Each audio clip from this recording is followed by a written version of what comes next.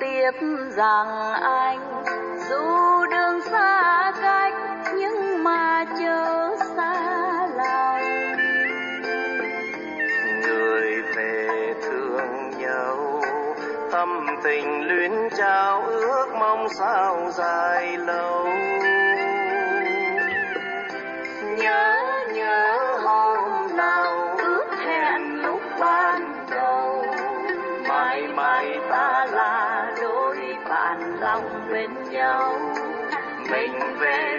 Sau xin đừng quên câu chúc nhau hạnh phúc đầu xuân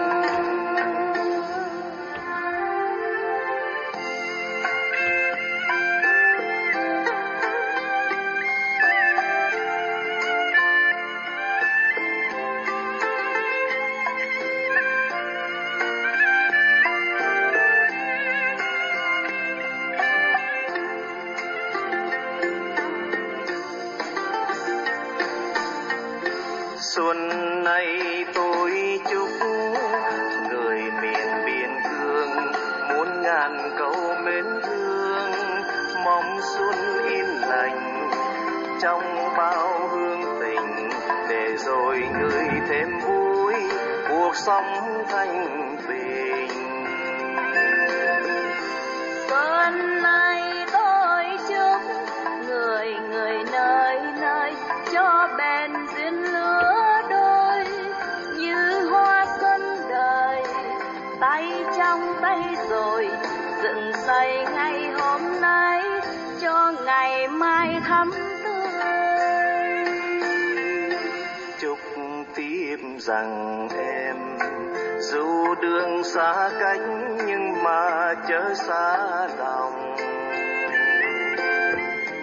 Người về thương nhau, tâm tình luyến trao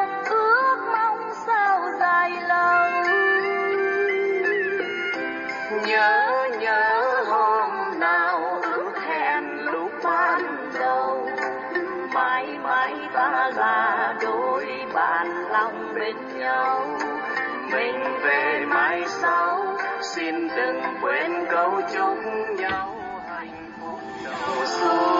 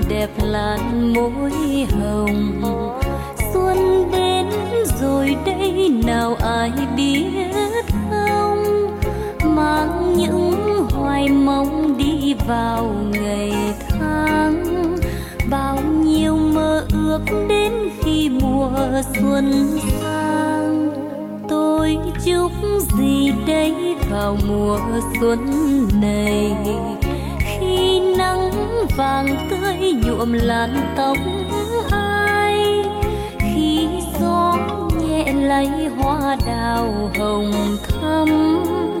Trong khi xuân ấm mới tô đẹp tháng năm.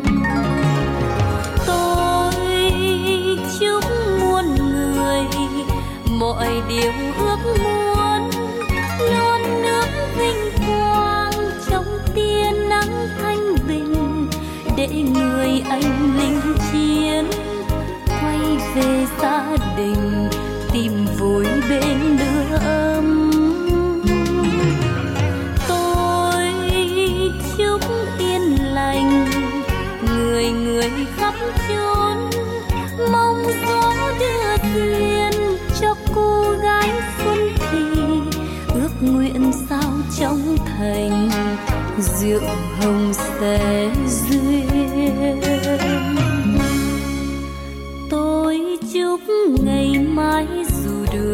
xa vời. Trai gái bền duyên đẹp tình lứa đôi, cho bướm vàng bay trên nẻo đường mới. Vai bên vai những lúc tâm tình lên khơi. Tôi chúc rồi đây người về phương nào dẫu thời gian lạnh lùng lướt mau. Mong ước ngày sau như là ngày trước. Tay trong tay nhớ lúc trao thiệp đầu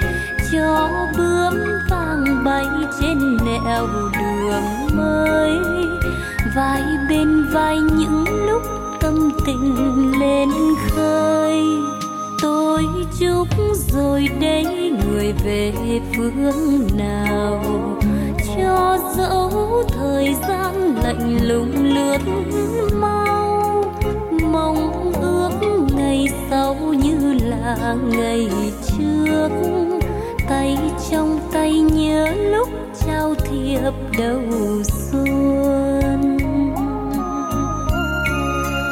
Mong ước ngày sau như là ngày trước, tay trong tay nhớ lúc trao thiệp đầu xuân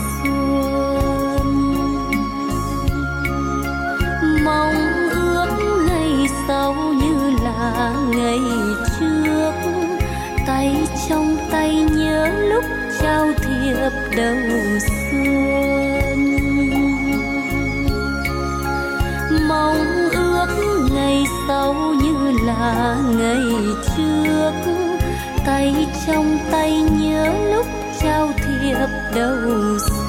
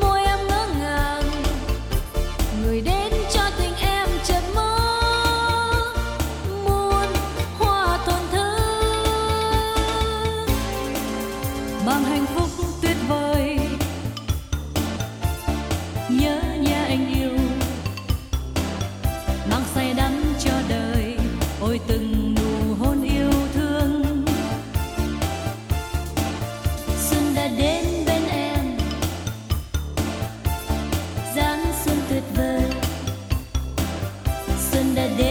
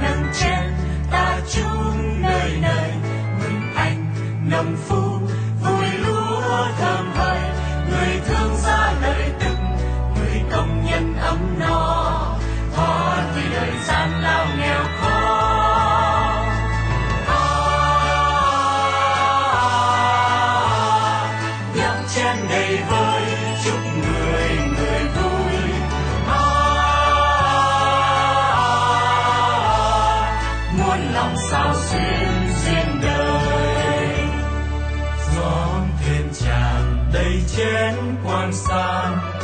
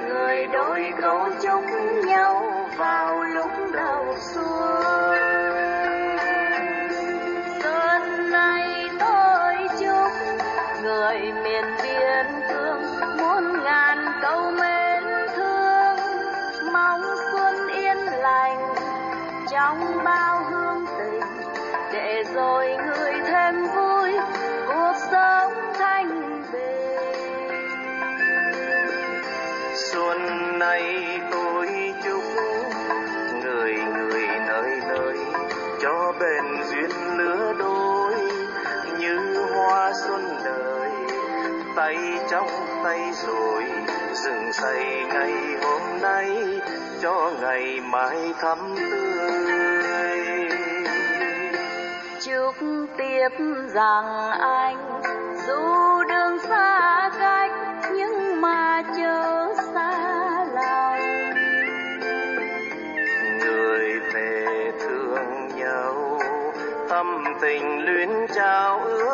sao dài lâu? Nhớ nhớ hôm nào ước hẹn lúc ban đầu? Mãi mãi ta là đôi bạn lòng bên nhau. Mình về mãi sau, xin đừng quên câu chúc nhau hạnh phúc đầu xuân.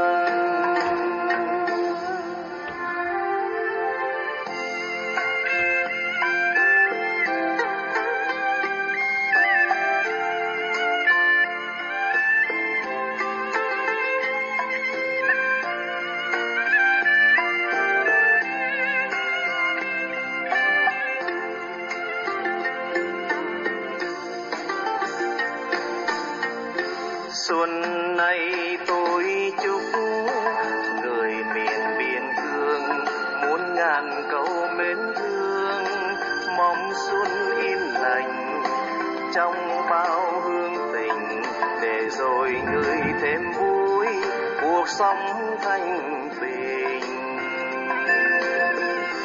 xuân nay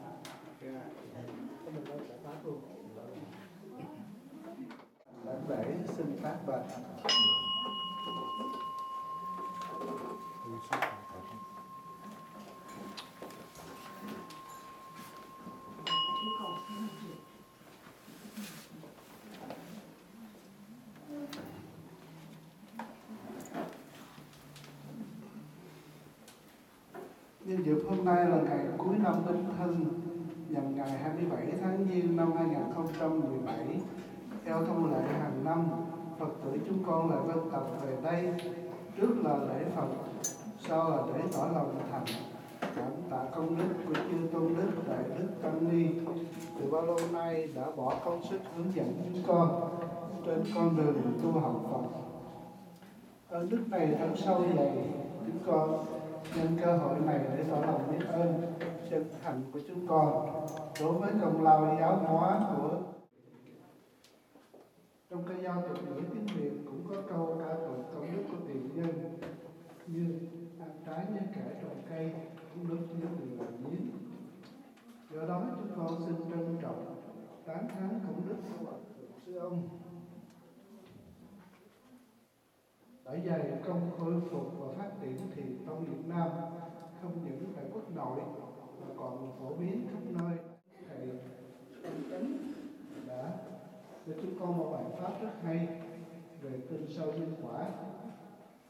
Chúng con cũng tri ân thầy trụ trì đã khổ công nghiên cứu và giảng pháp hàng tuần để chúng con hiểu thêm về pháp và để ứng dụng cho sự tu hành của chúng con do đó con có xin con xin có một bài thơ nhỏ. À, với những lời con thầy mong thầy chấp nhận. Cái tựa là nhớ ơn thầy. Thích đăng tịnh vị thầy đáng kính. Về trụ trì lại là chúng sinh. Tiếng chuông vang vọng xuân tinh. Người say tâm linh nữ mầm dòng pháp ngũ trúc lâm yên tử ấy bao đời khắp nước Việt Nam. Giờ đây phương ngoại hoa đào đường khai đất nước một phạm độ sinh nhắc nhiều chúng từ minh chân tánh giải tu thân dưỡng tánh độ tà. Chỉ đường giải thoát mê thành thân tâm an lạc ngày già bình yên giải vô điểm giữ tâm được định. Giải vô trụ, được tỉnh trên tâm. Giải buông, chẳng nắm, chẳng cầm không theo vọng tưởng chân tâm hiện tiền. Mừng tất đi trên núi núi thiện viện chúc vinh chánh miên nguyện muôn đời. Đạo màu lan tỏa khắp nơi. Dòng thiện tỏa rạng cực trời phương tây. Nam mô phật cổ sư thích ca mâu ni.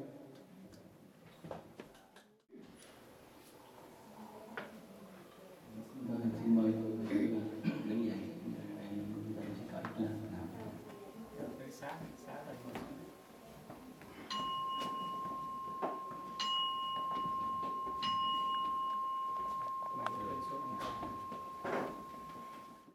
đại diện cho đại chúng ừm, có lời tỏ pháp đối với chư tăng trong thời gian mà à, chịu trách nhiệm hướng dẫn ở à, Phật pháp ở đây thì à, cảm ơn đó thì chủ yếu là các thầy ở đây à, không cần lâu lâu kể chút thôi à, nhưng mà hôm nay nó định được thay mặt à, chư tăng ở đây để có vài lời với là đại chúng ừm, về cái làm việc à, tạng pháp vừa qua À, thì lúc này đại chúng được nghe ừm, bác à, phật tử đây đã tác bạch à, tỏ lòng biết ơn đến giáo pháp của đức phật đã truyền dạy à, rồi à, kể đến là chỉ cống ơn truyền đạt dạy dỗ không mệt nhọc không ngại mệt nhọc của hoàng tử ân sư và hôm nay thì cái hàng hào học của chúng tôi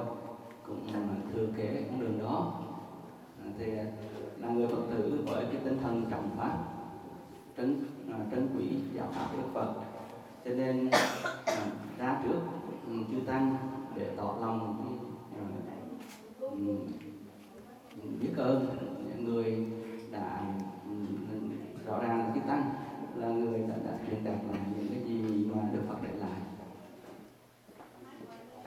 thật sự ra trong tinh thần ờ, học Phật chúng ta biết rồi trong cái bố thí mà lớn nhất và cao cả hơn nhất đó là bố thí pháp bởi vì sao bởi vì giá trị pháp có thể giúp cho mình có một cuộc sống hạnh phúc hạnh phúc hơn tất cả mọi hạnh phúc khác à, dù mình ở thế gian mình có thể là, là tỷ phú triệu phú tỷ phú nhưng mà lòng mình vẫn bất an vẫn đau khổ vẫn bị chi phối bởi buồn thương giận ghét. Thì của tỷ phú hay, hay là hay là triệu phú hay tỷ phú gì cũng không không giá trị gì nữa. Mà cái giá trị ở đây chính là cái lòng an lạc bình yên. Do đó giá trị pháp nó cao quý vô cùng. Nó giúp cho mình có một cuộc sống hạnh phúc thật. Dù à, về mặt về phương diện vật chất mình có thể hiểu đi một chút nhưng mà lòng mình bình yên thanh thản và giác ngộ được sự thật thì đó là cái cơ hội để giúp cho mình có cuộc sống hạnh phúc thật sự. Vì vậy, đối với thời đại bây giờ, tuy rằng là Phật pháp nó rất là dễ dàng, mình à, không đi đến chùa ngay giảng đi nữa, cũng ở nhà ừ, mở mà mở đĩa nghe cũng được mở băng cassette nghe cũng được, rồi lên online nghe cũng được. Cho nên nó dễ dàng quá. Mà quý phật tử biết rằng những cái lời mà trong đĩa, trong băng hay là trên online nó mang những từ ngữ chết, nó không sống và nó chỉ giá trị để giúp cho mình giác ngộ rất ít. Bởi vì khi người truyền đạt là ừ, tâm hồn người người nói, tâm hồn người nghe, có sự liên kết nhau. Thì lúc đó, người nói có thể tùy theo cái hoàn cảnh của người người nghe để ta nói cho nó thích hợp. Còn mình à, nghe trên địa trên băng, trên online ừ, thì các thầy mình nói trên trời dưới đất là mình không đúng, mình rồi chẳng trục mình cho nên cái giá trị để mà giúp cho mình giác ngộ nó ít đi.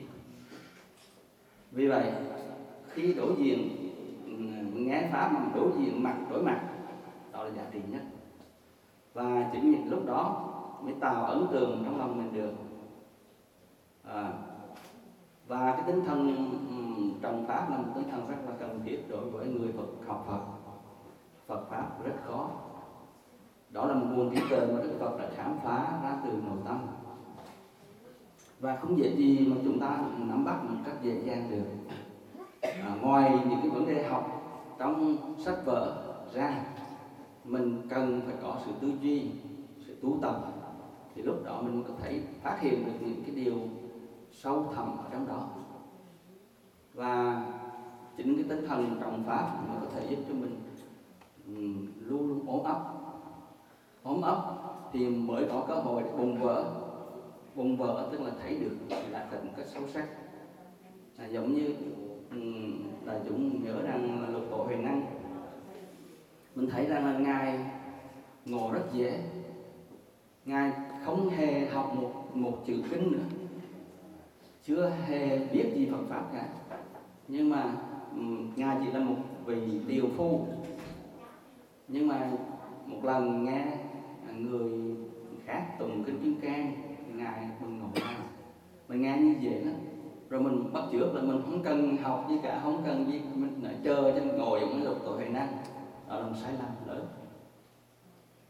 Mình nhớ rằng à, Phật không phải bụng cái gì mà bụng nhân bụng nhân cả. Bụng chứng mà có cả.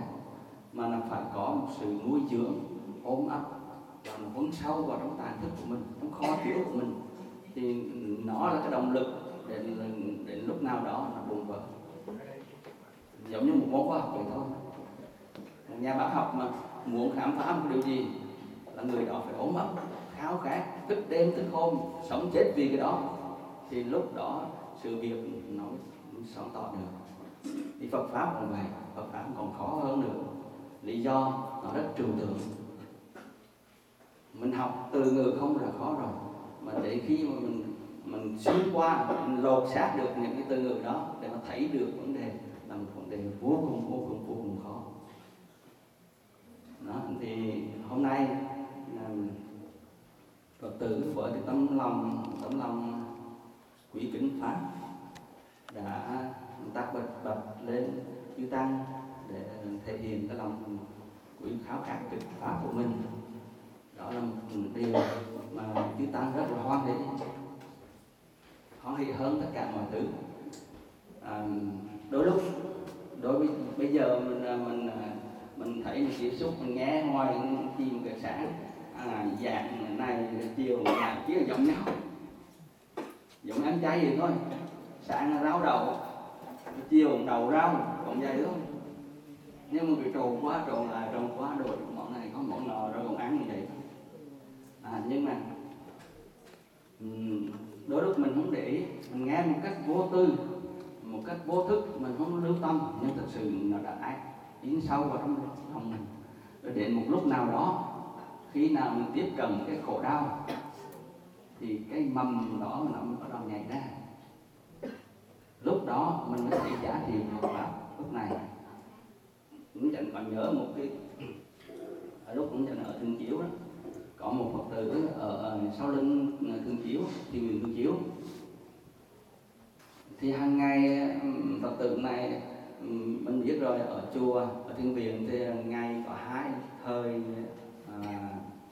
à, thịnh đại hùng chung đánh chú lớn đó buổi khuya 3 giờ đánh đến à, thịnh chúng thịnh chú đến à, đến 5 giờ. Buổi chiều 6 giờ đến 7 giờ rưỡi 7 giờ. Đó thì à, cái vị này ở sát chùa mà hàng ngày luôn luôn nghe tiếng chuông. Nhưng mà không hề lưu tâm đến chẳng màng là tiếng gì nữa. Nhưng mà rồi sau một thời gian tiếng chuông nó trở nên giá trị với vị này. À, khi về đó à, đi làm đi à, lấy chồng ở nơi xa thì à, trong cuộc sống đôi lúc có những lúc buồn lúc sầu khổ cho nên chính những lúc đó tiếng chuông làm lại sống về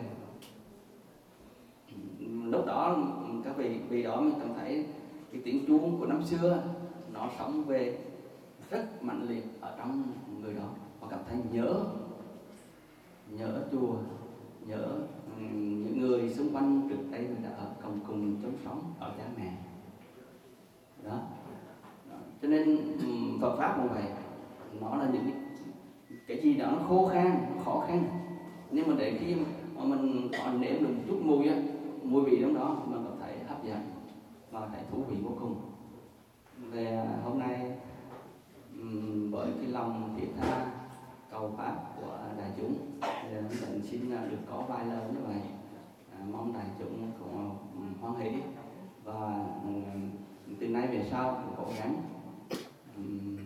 nuôi dưỡng cái lòng học pháp của mình một ngày một sâu à, mình đáng tiếc một điều là các phật tử mình lớn tuổi lên rồi nhưng mà cái lớp con cháu của mình sau này thật sự khó để có cơ hội giống như bây giờ. À, nên tôi nghĩ rằng là phải tìm mọi cách từ từ chư tăng cũng như là từ à, à quỹ phật tử tìm cách nào đó cho nó thích hợp để mà, mà giúp cho các em cơ hội tiếp xúc gần gũi để mà các em có cơ hội học hỏi dần điều pháp. Dạ, Nam mô phật bổn sư thích ca học đạo. À, thì mỗi năm thường thường chúng ta có à, mấy bác lớn tuổi mình có quà. Ha thì năm nay đặc biệt khác. Dạ, năm nay quý thầy à, ra năm câu hỏi. Và trong này là có 100 bao. Rồi à, mỗi phật tử với quý thầy á, mình chọn. Nếu mà mình bắt ra được cái cái câu hỏi á, mình trả lời. Nếu mà mình trả lời được á, thì được cái ờ, món quà. Nếu mình trả lời ờ, nửa câu hỏi thì được cái ờ, quà nhỏ. Nếu mà trả lời không được thì sao? Thì phật tử muốn phạt gì. Tùy ý nha tùy à, bây giờ thầy đang đang tránh khác cho các phật tử để cho phật tử bắt bắt mình cái nha. Là thầy thầy khai đi một bên hai người đi hai hai. Đừng có nhìn nha? Em bỏ tay nó bắt một cái thôi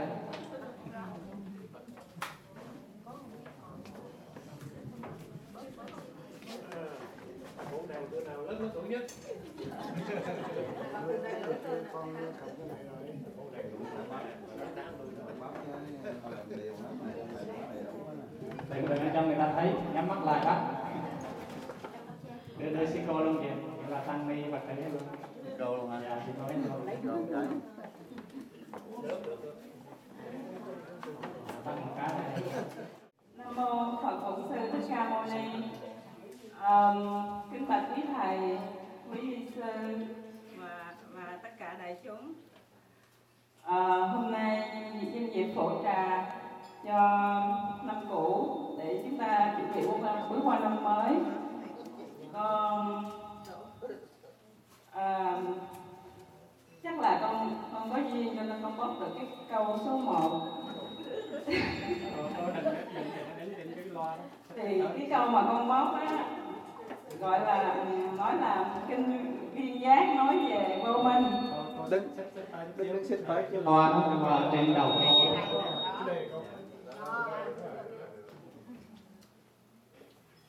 thế nào là vô minh và vô minh từ đâu mà có? Theo cái sự tu học của con từ bấy lâu nay thì con hiểu như thế như thế này. Vô minh á thì nó đối đối nghịch lại với uh, uh, không trí tuệ. Trí tuệ tức là vô minh là cái người không có trí tuệ. Thì khi mình không có trí tuệ thì mình hiểu sai cái sự um, uh, chánh kiến. Tức là uh, cái cái sự hiểu của mình nó không đúng. Uh, giống như một cách nó mù quáng. Uh, không có cái suy nghĩ tức là không có cái trí tuệ. Con chỉ hiểu vậy thôi còn phân tích sau con không dám. Mô phật. Lời sám hối à, mới nghe online à, không thuộc bài thì cầm lời. Quý vị cũng vui lòng bỏ qua cho.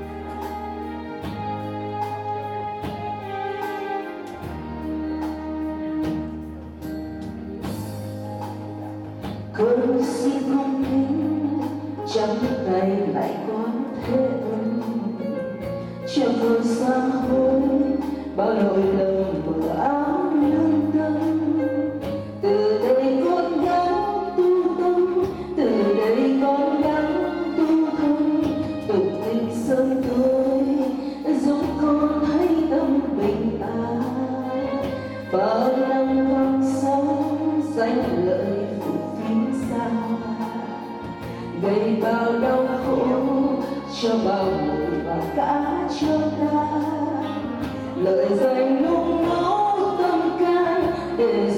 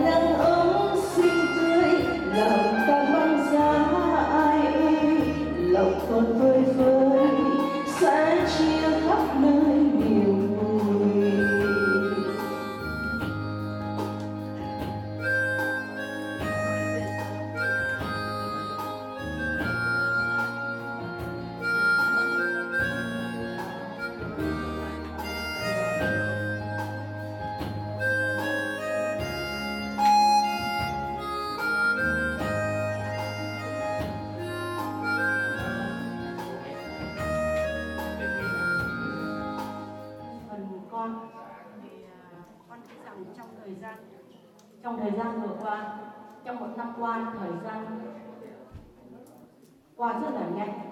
Mỗi hôm nào cũng buổi uh, trà đàm. Rồi giờ lại tới buổi trà đàm.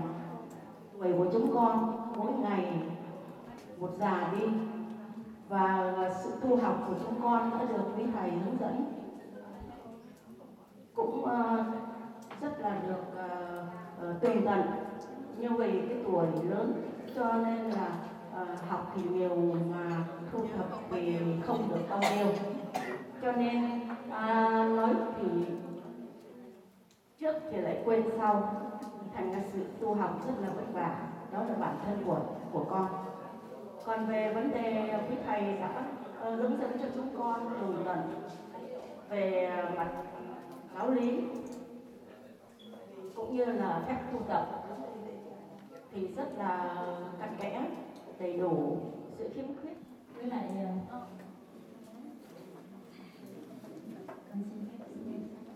à, với lại để à, uh, với quý vị ở đây đây thì ờ, ờ, uh, rất nguyên nghĩ rằng quý vị rất là có phước. Chúng ta có một nơi tu tập uh, phải nói là um, quý thầy còn trẻ nhưng mà rất là năng nổ và yêu đạo cũng như hy sinh bản thân vì đạo mà hiến thân cho đạo pháp. Ừ, và còn nơi đây chúng con chúng con cũng thấy là à, có nhiều phật tử trẻ. Đó là điều đáng vui mừng cho đạo pháp.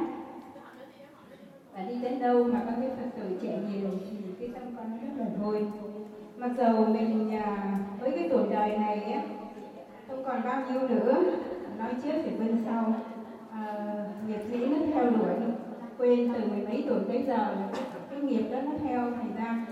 Cho tới bây giờ cái vấn đề tu học cho cá nhân nó cũng vẫn còn chắc trở và nghiệp chướng nó vẫn theo.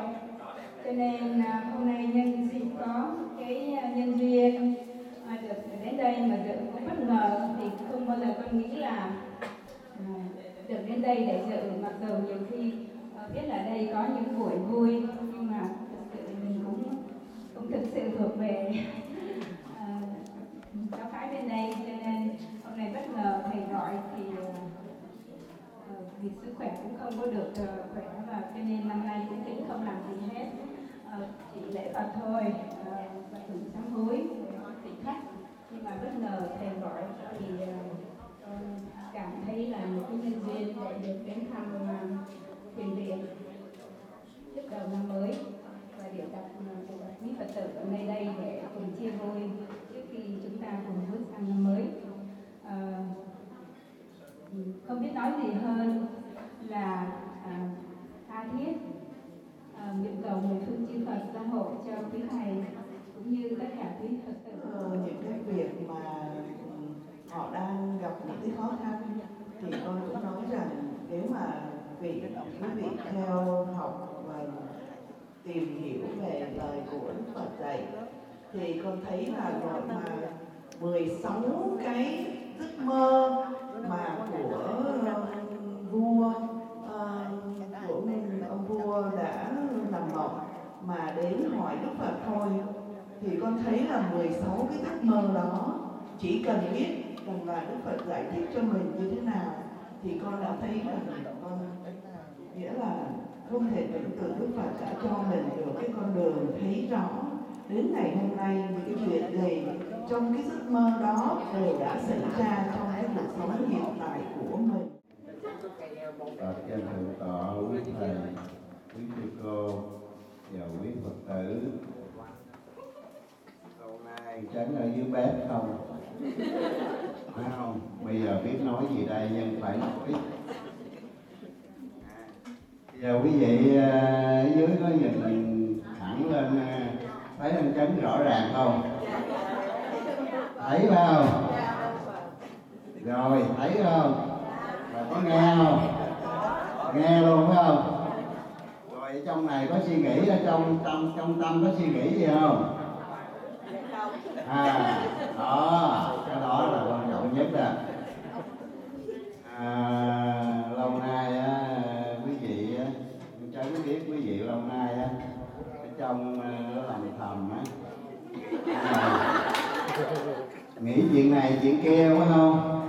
Nghĩ chuyện này chuyện kia mà mình cho cái nghĩ là thật. Cái ờ, nghĩ suy mình là thật. Là chân lý cho nên mới có do có buồn thương giận ghét. Thấy không? Mà đó giờ quá trời buồn thương giận ghét mình ngồi đây bây giờ nó xuất hiện ra. À, tất nhiên là không có. Do mình mất giác thôi. Bây giờ mình sống trở lại á mình chỉ nhớ chỉ nhớ là à, mình có cái tánh thấy biết tánh thấy nghe mà không thuộc uh, không có thọ vô uh, uh, phân biệt là đầy đủ rồi. Quay trở về bờ.